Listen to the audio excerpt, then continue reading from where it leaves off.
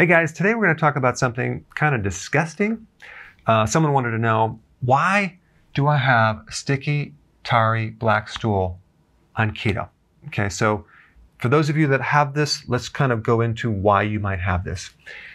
It's basically unabsorbed fat. When you are transitioning from running on sugar for many, many years, and then you're going to actually burn fat and you're going to consume more fat, it's going to take some time to make this transition or this adaptation. You have to make new enzymes, you have to make more bile, your whole body has to adjust to it. In that transition phase, which is just temporary, you may end up with some fatty stool, too much fat in the stool. So stool might float, it might be greasy, it might leave skid marks on the, in the toilet. And that condition is actually called steatorrhea which you're overloading the colon with more fat than it can actually handle. Now, there are other causes to this, but if you're just starting keto and this starts happening, uh, the most likely reason is because you're in the transition phase and you're kind of overloading the colon with too much fat at this point because your body hasn't adapted to it. Here are some other reasons. Um, and a reason I want to bring this up is that if you make the changes that I'm going to suggest, and it doesn't solve this problem and it goes on for a period of time, get with your doctor and check because there could be an ulcer possibly or a hemorrhoid, um, pancreatic disease. You could have exocrine gland insufficiency, which basically you're not producing the sufficient enzyme that the pancreas is supposed to, and then you can't break down certain food particles. It could be too many iron pills, side effect from some medication, and the list goes on and on and on. So when you overload the colon with more fat than it can handle, you're getting an incomplete digestion of fat. And you can at the same time have deficiencies of vitamin A, like your vision at night, vitamin D, vitamin E, vitamin K, omega 3, because of course these are fat soluble nutrients. Okay? So if we take a look at right here, we have the stomach. It has a certain amount of acid. Um, your body is designed to have a certain concentration of this hydrochloric acid. And if you have the right amount of acid, then you'll be able to trigger the bile release from the liver, and then the gallbladder will have enough bile in a certain concentration to release at a meal. So there's a lot of problems that can happen with this right here. One could be you don't have enough acid, in which case, you know, I always recommend betaine hydrochloride or apple cider vinegar to start to build up your stomach acid. But realize that your body actually can adapt to this new diet over a period of time and actually start making more acid just because it needs more acid. Not just to break down protein, but also has a function of releasing the bile. Now, what does the bile do? It's kind of like the detergent that breaks down the grease, but it's not breaking down the fat to the smallest particle that the body can use. It just breaks it down to a certain level.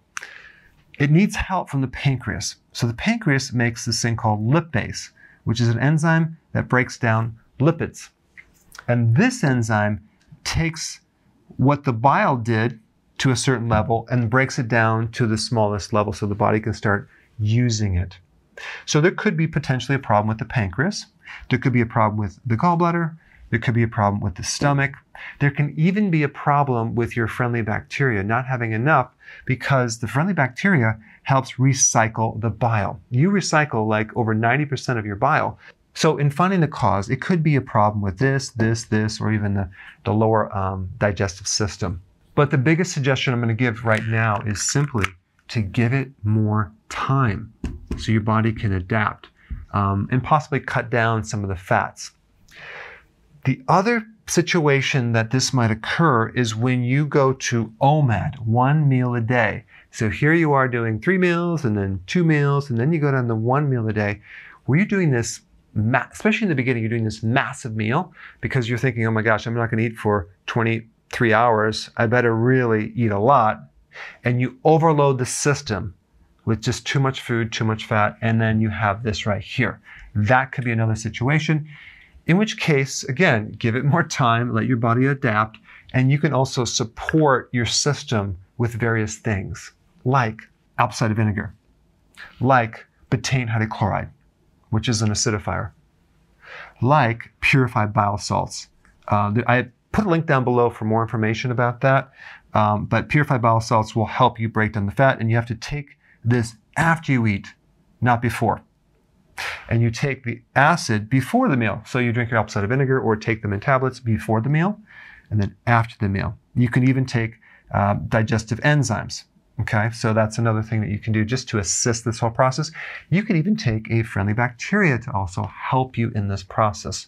All right, so basically what I wanted to do with this video is just to increase your awareness and what's happening. You don't have to freak out. It happens with quite a few people. It's temporary and just give it some time and definitely support your system in the process. Thanks for watching. Hey guys, I'm not sure if you have my app yet, Dr. Berg app. It's totally free you should download it. Okay, this is what it looks like. You click it, it gives you all sorts of great resources. I have all my YouTube videos on this app. Okay, and it's regularly um, uploading the most recent ones. All the YouTube videos are also converted to audio versions. Okay, so you can use it when you're walking, exercising, driving your car. I have a mini course on there. I'll be putting additional courses.